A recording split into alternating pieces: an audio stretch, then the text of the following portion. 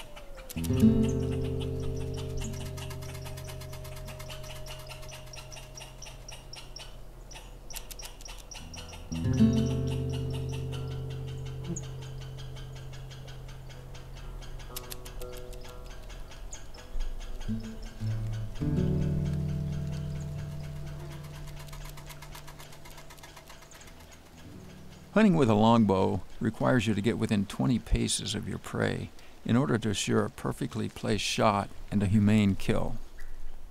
To do this, you have to be as stealthy as a cougar, as patient as time. So, why, it's fair to ask, do I hunt with a longbow when the goal is meat, and this is the hardest way to get it?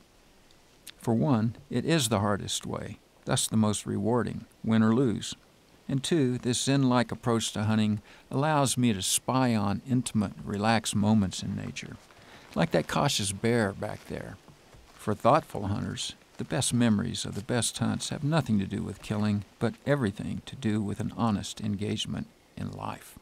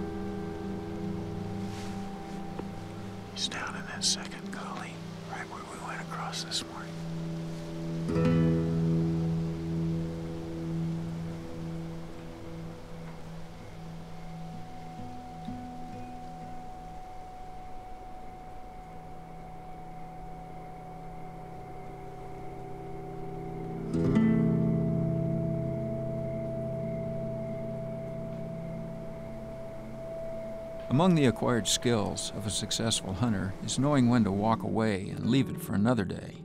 It's getting dark, and the month long archery season has only just begun.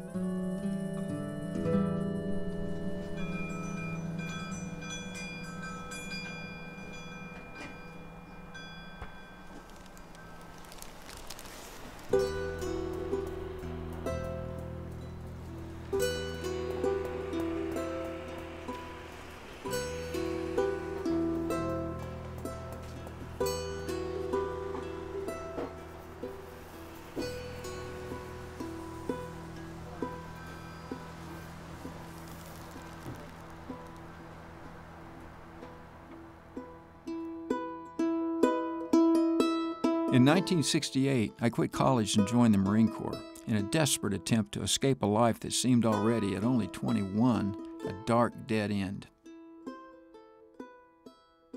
While my six years in the Corps gave me a level of self confidence I'd never have known otherwise, I remained disillusioned with culture. Like so many of my Vietnam hippie generation, I felt painfully estranged.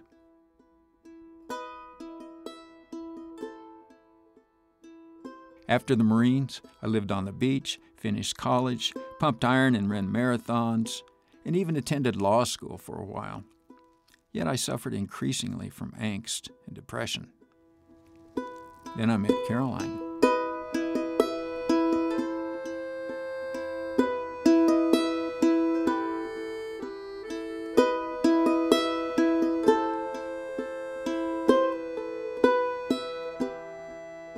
From the start, Carolyn and I shared a passion, not only for one another, but for wild nature, camping and hiking at every opportunity. In 1980, we decided to trade California's sandy beaches for the Rocky Mountains and took to the road.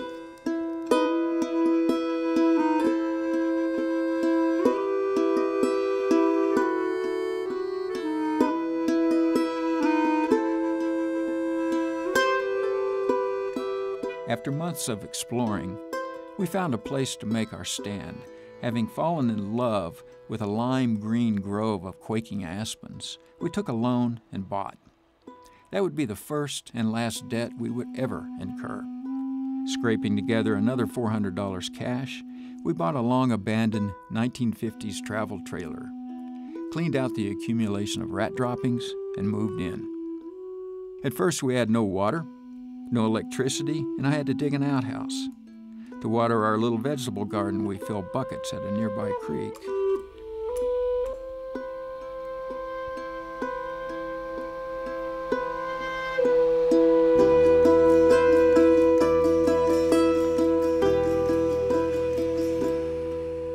For heat, we found a discarded pot-bellied wood stove. And we pretty much subsisted on rice, beans, and tortillas, trout I caught, and elk and other game I hunted or scavenged as roadkill. As we could afford it, we hand built a modest cabin home. As the years ticked by, mountain life got easier. It's still never easy. Dishing out prolonged power outages, below zero cold and roof crushing snow, devastating wildfire, and some pretty serious medical issues with no insurance and no regrets. Such a simple, self reliant life close to nature is exactly what we'd come in search of.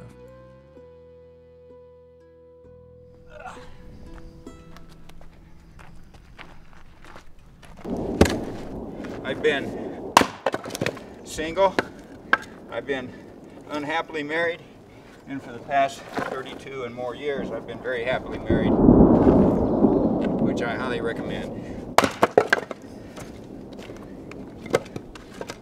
Trick is finding the right one.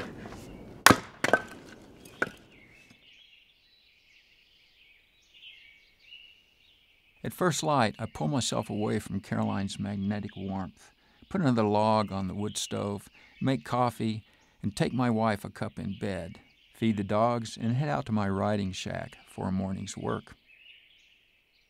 Decades ago, when I first read Edward Abbey's classic, Desert Solitaire A Season in the Wilderness, it lent clarity to my unfocused life and encouraged me to become a writer as well, something I'd never before considered. Today, after many years of doing it, I still struggle to evoke the palpable essence of wild places and wild life for readers who will never know these blessings for themselves, hoping to open more lives to the transforming magic of nature, as Abbey did for me. Not everyone can live on a mountain in Colorado. Yet words can work to close the distance so that nature can be a blessing in all lives, no matter where.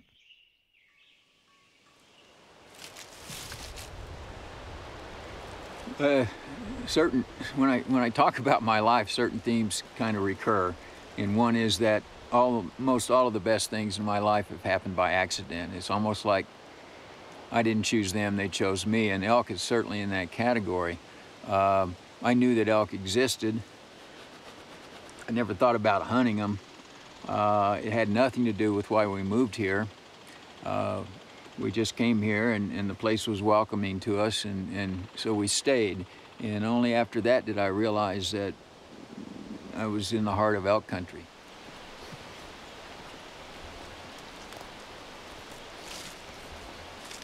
Elk and bear are kind of a, a toss-up for, for my totem animals, but I don't hunt bear uh, because they're just too much like me. I, think of bears as humans in a more primitive, natural, uh, pristine state. So I'm not interested in hunting them, but elk, I mean, they're, they're the emblem of, of these mountains. They're very challenging to hunt, physically and, and mentally, uh, and they're so good to eat. So, you know, I, I love them as food. I love them as, as uh, uh, an opponent in the hunt um, or maybe I should say a partner in the hunt. Uh, I love the country that they live in. Uh, I love everything about them, and it just took over my life.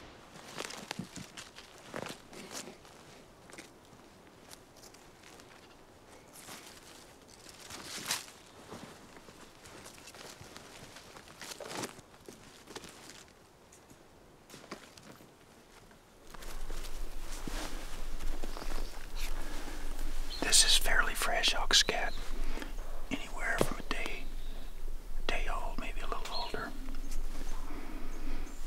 They eat nothing but vegetation, so it just smells like incense. I don't even think of it as dirty.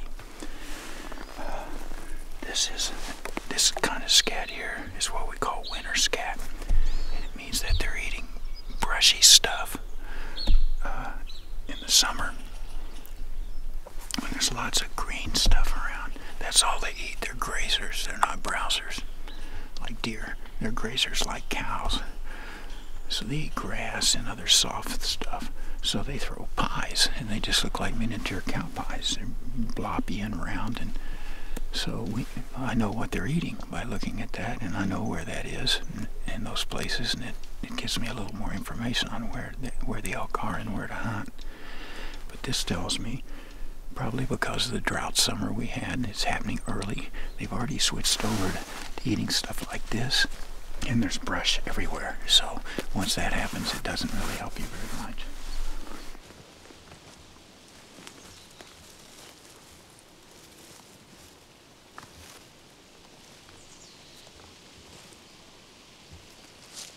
This is a bedding area. You can see the depressions in the grass where they've been lying down. And because the sun is this way, I would expect they would use this in the mornings like right now. In the afternoons, they would, the shady side would be over there.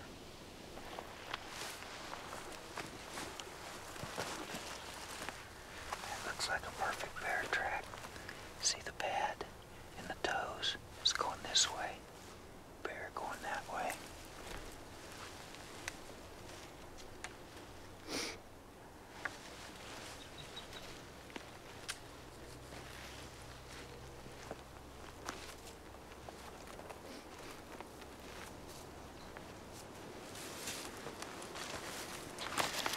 Doesn't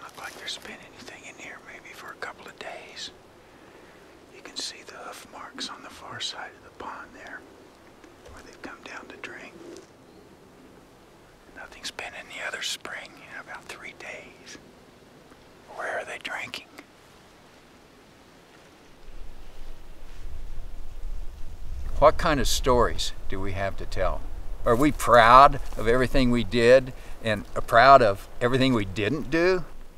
There's nobody watching us when we're out there, so it's up to us whether we do the right thing or not.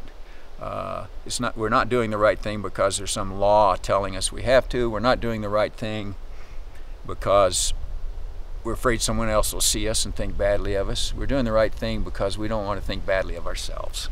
This is why it all comes down to the individual hunter's heart. Uh, if hunting is to deserve to survive or not. So the basic core of fair chase is the animal has a better chance to escape than we do of bringing it home.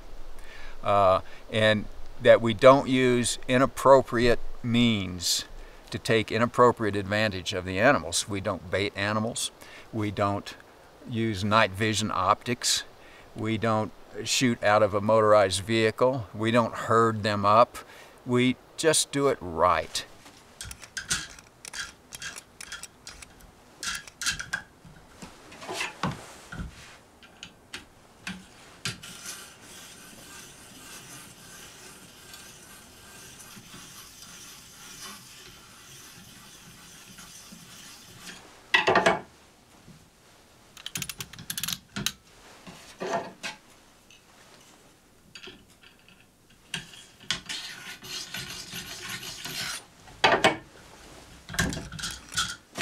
Okay, this is what we hunt with. It's called a broadhead. Uh, and it is basically a scalpel attached to a stick. And that stick needs to weigh as much as possible. Um, so the weight and the momentum push the arrow through the tissue. It cuts the tissue like a double-edged double -edged scalpel going through and either kills by bleeding, by cutting arteries, or if you do it right, uh, it kills much faster if you get a full pass through both lungs. It, I know this is a little morbid, but this is this is you know what hunters do, so we might as well face up to it. But uh, if you puncture both lungs and the arrow goes through, you've got holes in the lungs. They're like leaking balloons. The air goes out. The brain is starved within a matter of just two or three seconds, just like that. The animal doesn't go anywhere. So that's the goal. This is the bull I killed last year. I put the arrow in the right place. It went through both lungs. It missed the heart by an inch. Uh, went out the other side. He went up the bank behind the spring, uh, took a few steps, and stood there for just a second, looked around, fell over dead. Simple as that. Just, just seconds, 15 yards is as far as he got. For me, every set of antlers I look at from every animal, I've, every male animal I've killed, I instantly can flash back to that scene, to that story, to that hunt, and it's it's like a book or a photograph. It uh, it, it keeps it alive forever.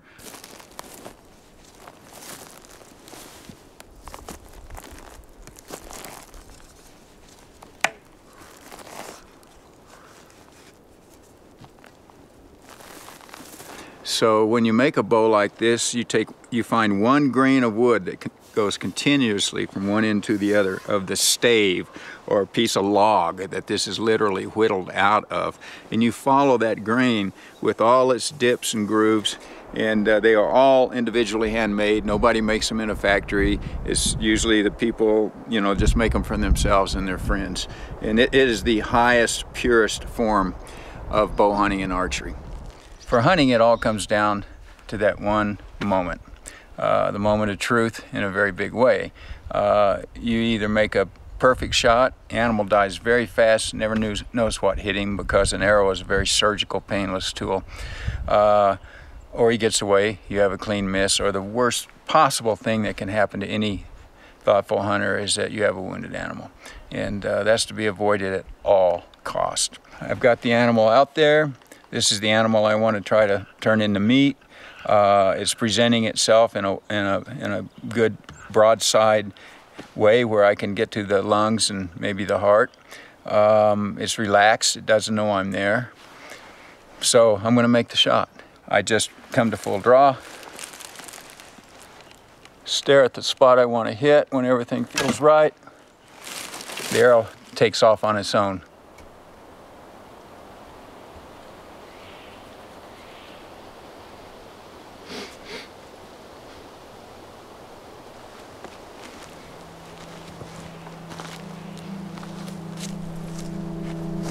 Over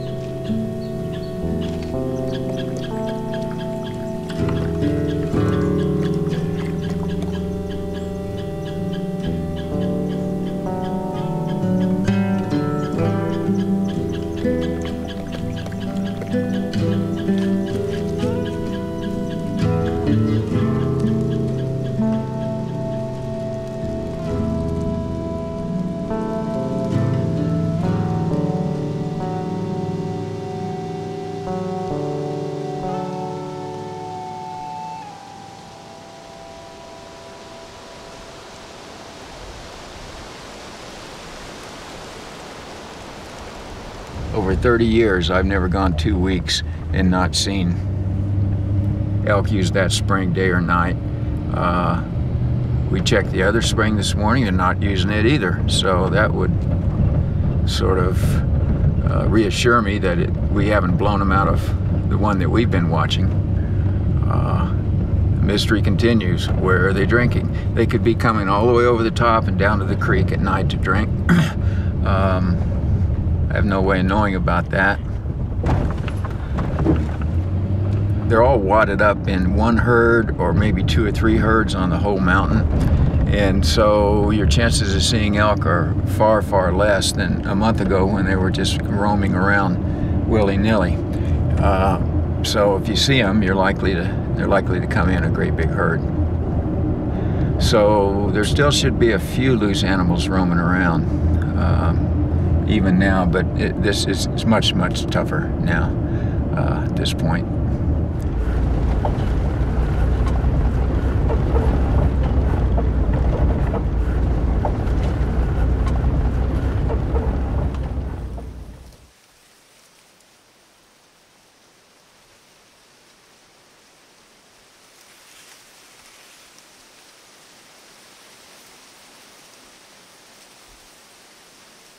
September, the sweetest time in the Rockies. Flaming aspens whisper and sigh in the cooling mountain breeze as elk sing passionately of lust and life renewed. The tourists and other bugs have gone, the weather is gentle, and the air is rich with the spicy scent of changing seasons. Yet autumn, like life, is fleeting, and I'm feeling a growing sense of urgency. Before the big snows come to limit forest access, I need to kill and pack an elk off the mountain, and with Carolyn's help, cut and wrap it for the freezer. In that same shrinking space of time, I also have to finish building the annual mountain of firewood, our only heat for the winter, when the wood stove crackles and pops 24 7, months on end. Here in the high country, you either think ahead or you'll wish you had.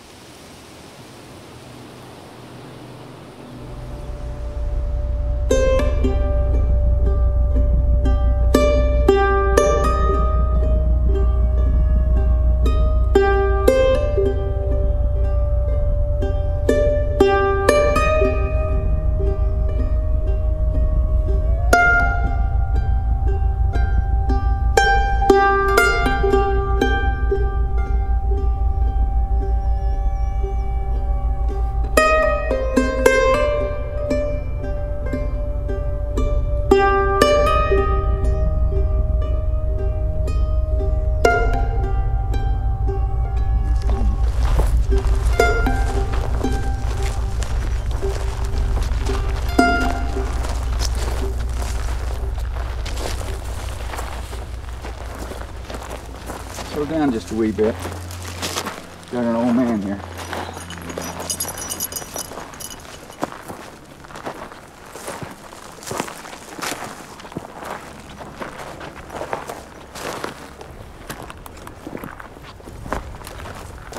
Ten years ago, we had what was called the Missionary Ridge wildfire. Firefighters from all over the country and Canada said they'd never seen more intense flames. After they let us back in, both of us just out in this heat, just feverishly working, clearing brush away from the house. The smoke was so intense that there's videos of birds flying across the sky and just dropping dead out of the sky from the smoke and the heat. Uh, so it was a man-caused fire, is in the, not just in the way it got started, but because we didn't understand and mismanaged our forests for over a century. We're getting all this oak brush, which is excellent for all kinds of birds and wildlife. So it's a good thing, uh, but it breaks our heart. I, the, the mystery of just walking through those, those shady, flickering white trunk groves is just. Uh, but we cried, we cried for two months or something, oh, didn't it we? was terrible. Yeah. Mm-hmm.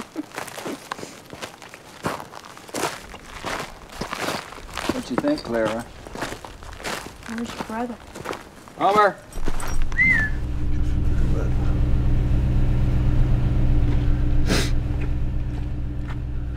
Good morning, Mr. T. Thanks for coming out. no problem. I'll let lost sleep. That's okay. Good morning. His name is Thomas Downing, but I call him Mr. T. Part Navajo, he's the only person I hunt with often anymore. Our shared passion for elk and their wild habitat makes us brothers. There are just two ethical and effective ways to hunt elk with a longbow. While I prefer to sit in silent ambush, Thomas likes to walk and talk, attempting to call them in, at which he's exceptionally good. With the archery season flying by and no luck with ambush, it's time to give Mr. T's strategy a try.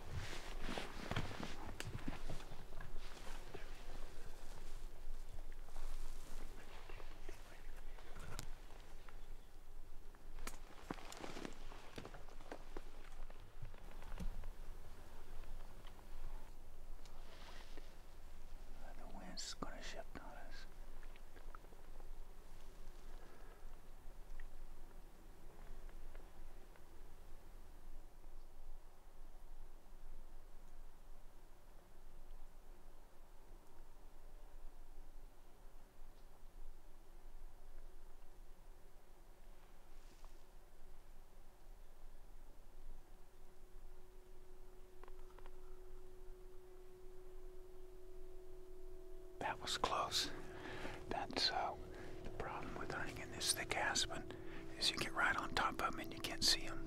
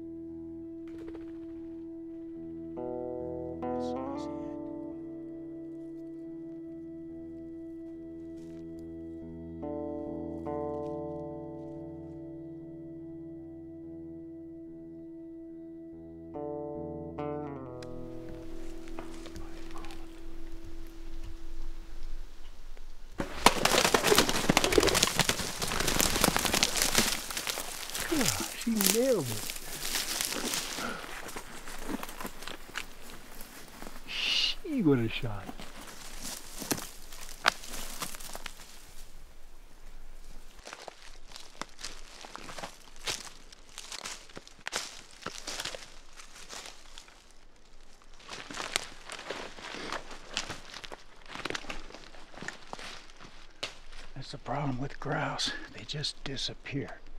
Doesn't matter what you shoot them with. They're really hard to find if you don't have a dog.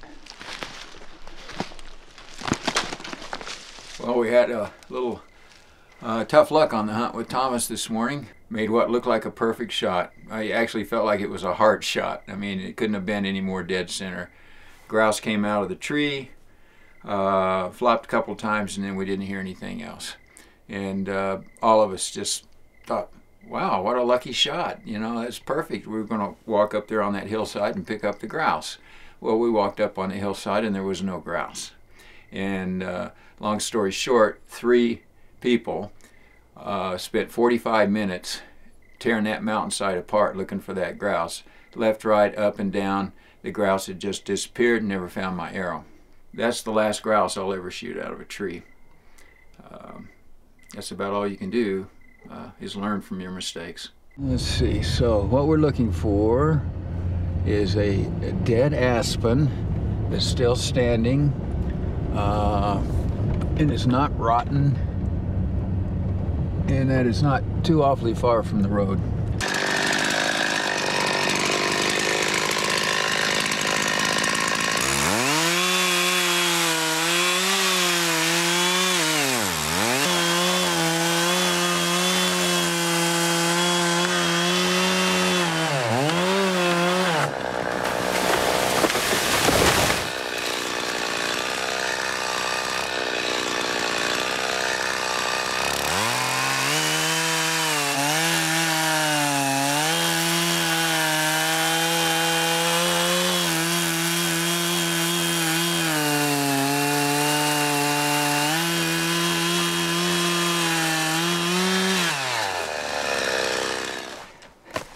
So I'm really fortunate to have a uh, torn rotator.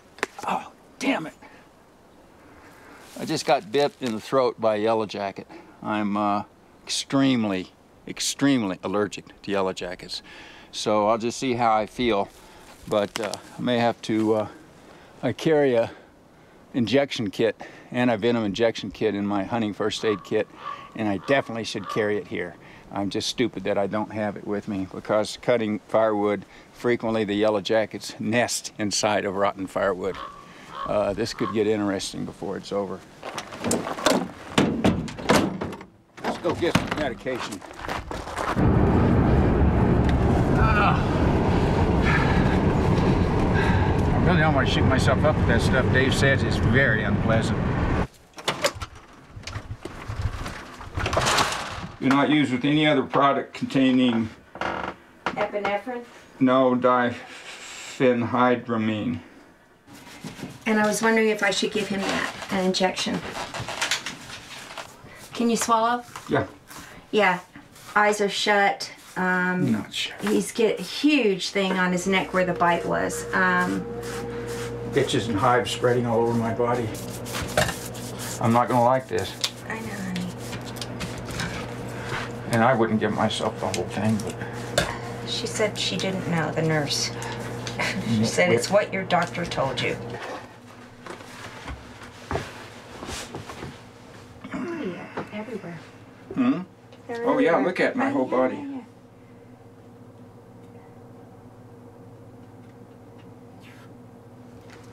Great. Perfect. All right, it's done. We'll see what happens now. I got the shakes really badly. Thanks for your help on that, dear.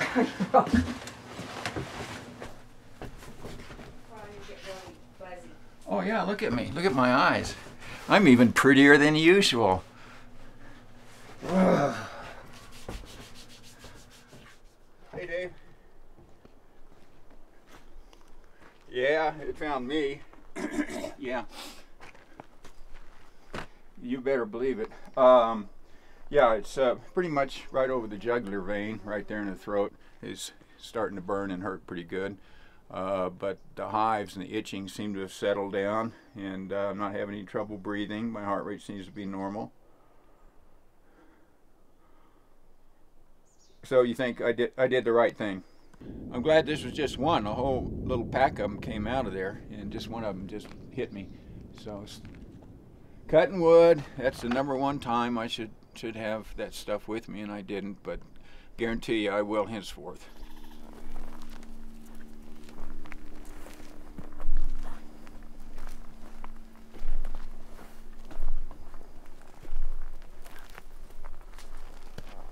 That's a really small calf track. And I don't know if it was there this morning. I think we would have seen it if it was. We'll see if there's any more.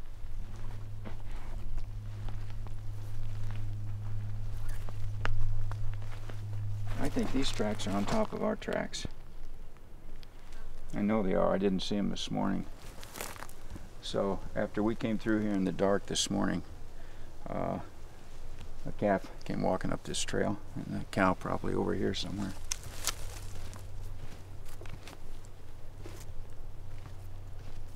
These were deposited here last night or early this morning, almost certainly by the same elk that left the tracks we're seeing.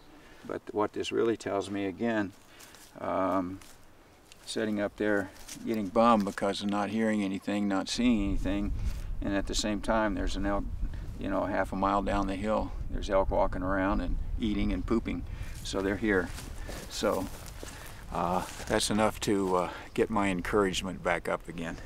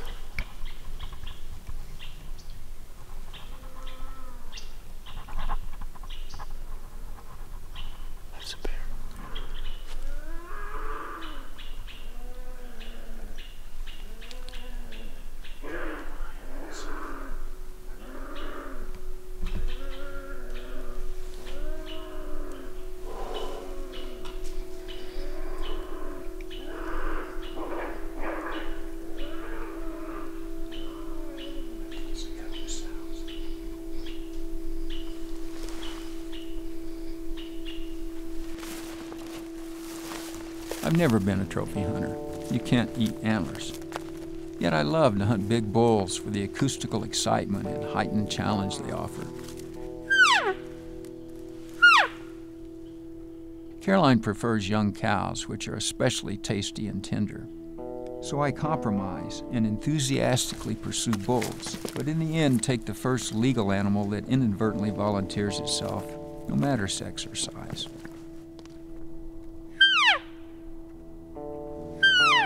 Either way, old bull or young cow, ethically hunted wild game offers huge moral and health advantages over chemically polluted production line meat product. Wild meat is organic, local, and done right, cruelty free. A gift from nature that sustains a bond of reciprocity between thoughtful hunters, our food, and the wild landscapes that nourish us all, predator and prey alike.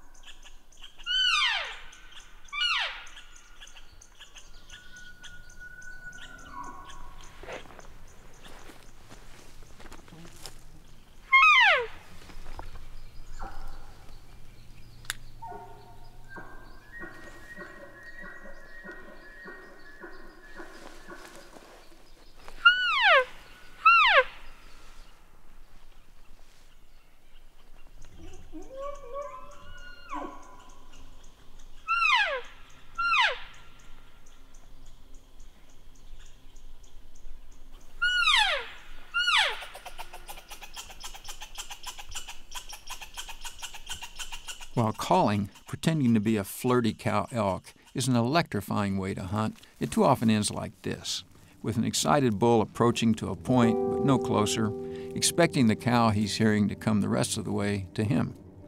When she doesn't show, he gets suspicious, clams up, and slinks away. Henceforth, a lot more difficult to fool again.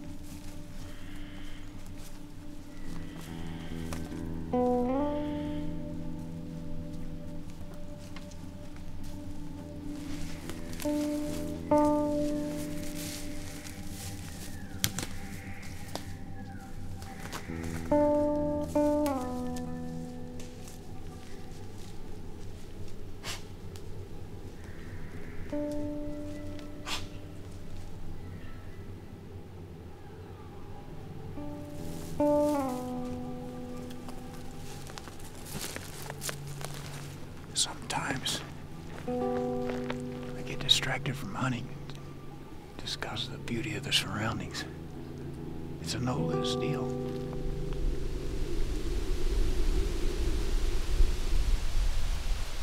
It just feels good. I just, it's just the place I just want to take a nap. Uh, Aspen Grove is where my ashes will be scattered or maybe my body illegally buried if I can figure out a way to do it. I want to spend the rest of eternity in an Aspen Grove.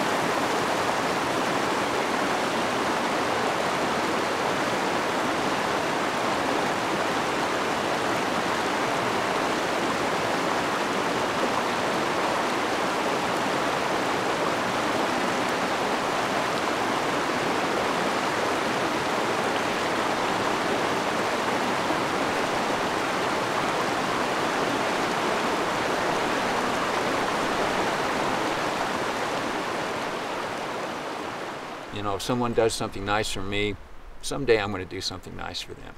Well, nobody has ever done anything nicer for me than the elk and the trout and the aspens and the mountains and the clear air.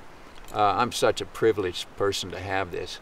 And I'm not just going to go through and suck out of it and not put anything back in it. So I became a conservationist. And I'm known as a critic of hunting. Uh, I, I just love it so much. It's like I want it you know, it's it comes from such a, a wholesome, totally human history. It, hunting is us. If, I want that good part to prosper. I hate what culture has brought into it. This idea that if you can buy something that saves you from doing a piece of work or makes it more certain or easier or faster, you should do that. You can't hunt without an ATV. You know, you've got to have this new high powered, fancy bow that'll shoot 80 yards. That is not bonding us with nature. Woodsmanship, learning about the fish and the animals and the place they live, that bonds us to this only world we absolutely know we will ever have. Uh, how could I do otherwise? You know, how could any thinking person just take and take and not give back?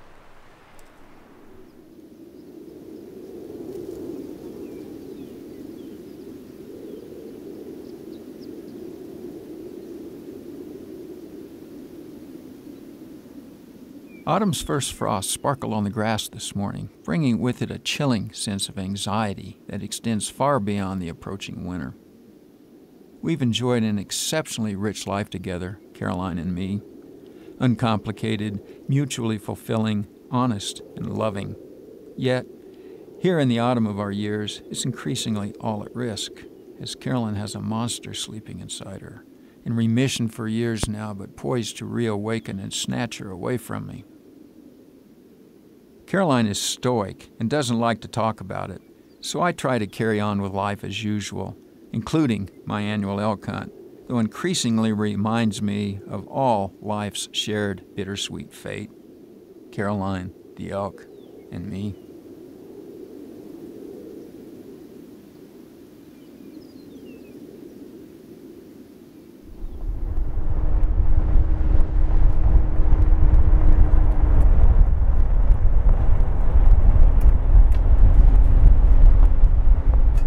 Each September, I like to visit Mr. T's family elk camp way up high to swap stories with his father, Joe, and with Isaiah, T's oldest son, three generations of thoughtful outdoorsmen who value meat and dignity over macho and deeply respect elk and elk country. Hey guys, You want to jump on the tailgate? well, we walk up. All right. We'll be quick. It, it, it's kind of a. There's turkey track right here. Cool. Yeah, we saw some on the way up and Hi. grouse. Hi, Isaiah. How you doing? Good. On Tuesday, the day before yesterday, I was fortunate enough to shoot a five by four bull at about 12 yards. All So- right. We were talking just before he did it. Can you stand up? Can you? We mean, were we're whispering. whispering. Yeah. Can you stand up? I don't think so. Can you stand up? Go, don't, don't, don't, don't. And he, he'd start to stand. No, no, no, no. And we were doing like that, and then he turned his head, and his head went behind a tree, and he stood up, and I couldn't believe it. And then he drew. And I just I'm drew real slowly and, I'm came just back like, to anchor.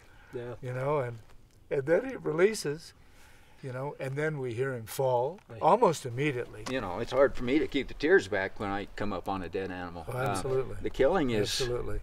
you know, but you know, but that's the way the universe works. You feel you feel remorseful in the beginning. In the beginning, you look, "Ah, I, I just killed this beautiful animal, and then you, oh, wait a minute here, I've got to, I've got to take care of business. I've You gotta nailed it. Do it justice. After I go through the little moment of reflection and appreciation of the animal and the place, I want to get that animal taken apart as fast as I can. I don't have to think about it anymore. It's no longer animal; it's meat. That's Yeah. right. Yeah, and that it makes it easy on me. And like you say, it's doing justice to the animal because the faster you get it apart, the, the better the meat will Absolutely.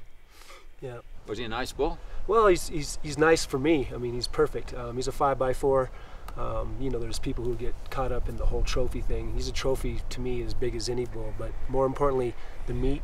Um, my family depends on that 141 pounds of meat, as it turned out, and uh, we That's need it. bone So, ready to yeah, eat. Yeah. 141 So, yeah. pounds. We need that, and um, it's been a couple years since I, I got that last one. So uh, India's been my wife's been chomping, you know, to, for me to get an elk. So it's good to have that meat again.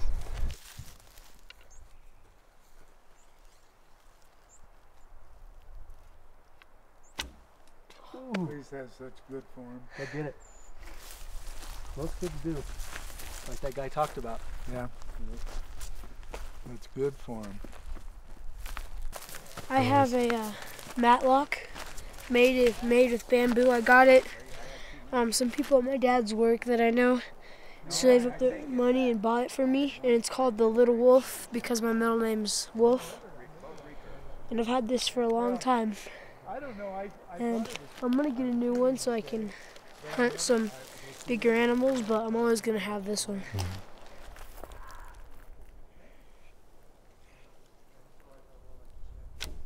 There we go.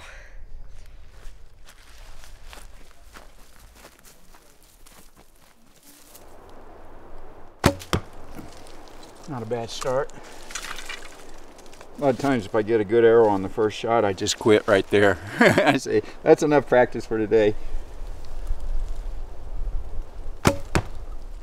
So those are all good shots, just a wee bit high. But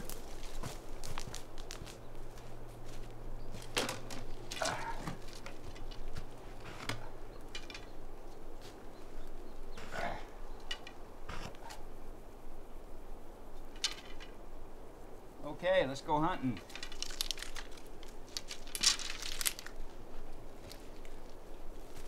Bye, doggy. Bye, wifey.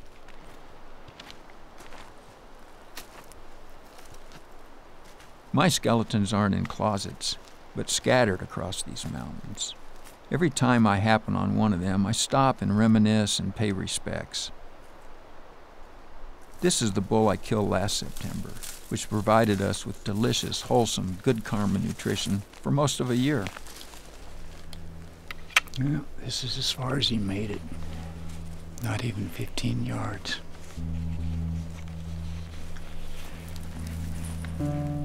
I saw him go down. I knew he was dead. But I sat there for a few minutes anyhow. Just don't like the idea of disturbing an animal until it's good and dead.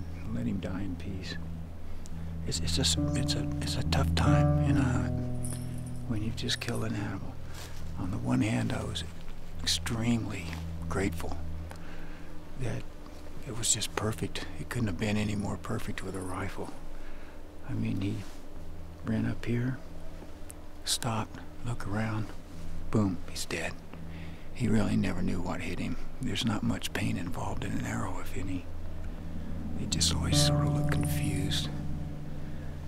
So it's like, you know, how do you deal with these mixed emotions? Uh, just killed a beautiful animal. It's laying there. They always die with their eyes open. You can't even make them go shut. They come back open. So you're, it's very personal. You're, you're you know. So I just say simple thanks. Um, and then I get to work. Animal that was born on this mountain, probably lived his life on this mountain. Good life, died a good, clean death. Um, it's not every aspect of it isn't pretty, but it's real, it's natural, uh, it's the way life works.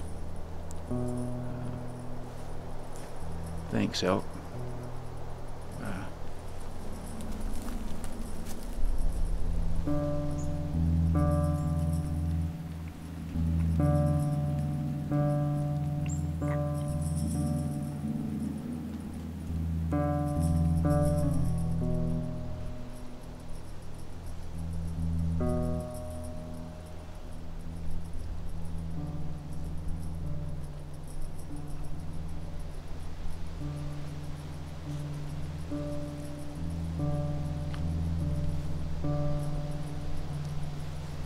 Really discouraged, and I'm ashamed of myself for it.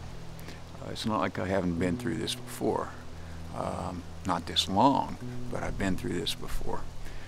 Uh, you know, it seems like even the coyotes and the bears and the other animals that were entertaining us earlier, they're gone. Haven't heard a bugle over here since I can remember. We're on the south-facing slope.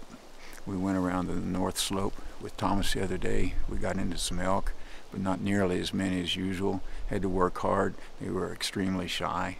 Um, they're not on this side right now.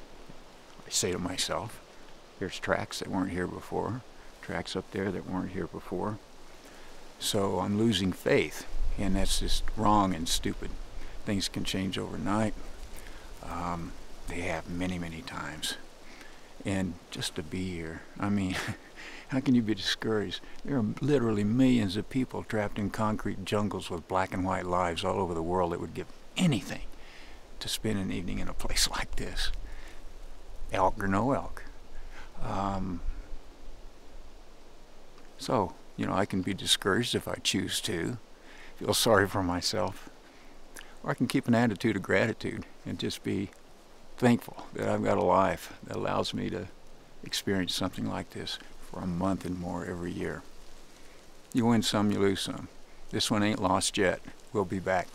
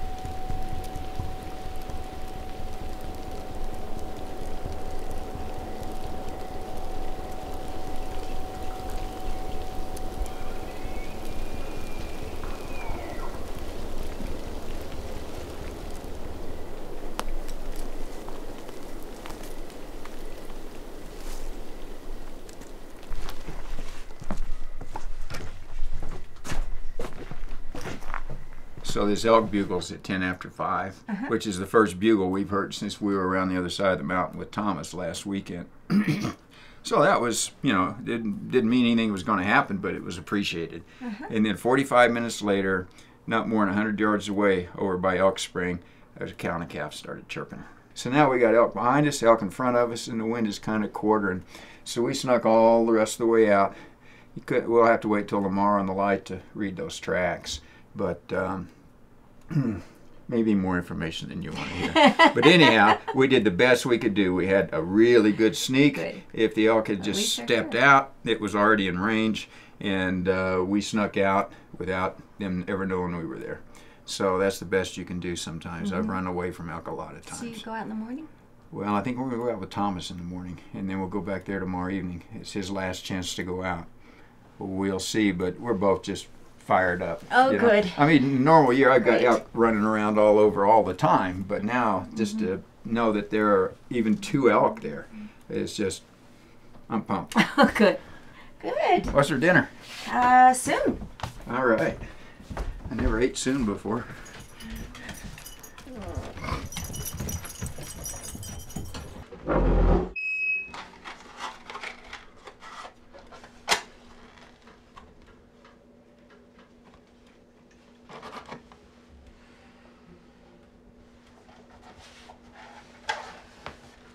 Winter is creeping in.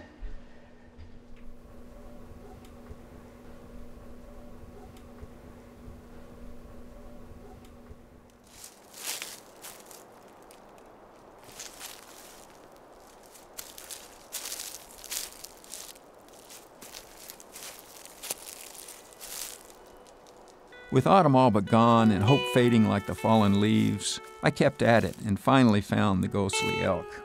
A whole herd of them, including a bull. As it happened, the first to volunteer was a plump young cow. One arrow to the heart. Carolyn was delighted with the sweet, tender meat, even as her delight delighted me. But in the end, all things pass. That's the law of life. Too soon, Carolyn's cancer awoke from its long nap, surreptitiously, a thief in the night. As her health declined, a litany of doctors and medical tests failed to identify the problem for what it was. Until one day she asked me to take her to the emergency room. The pain had grown too much, even for her. Within ten days, the love of my life was gone. Forever. And with her went the best of me.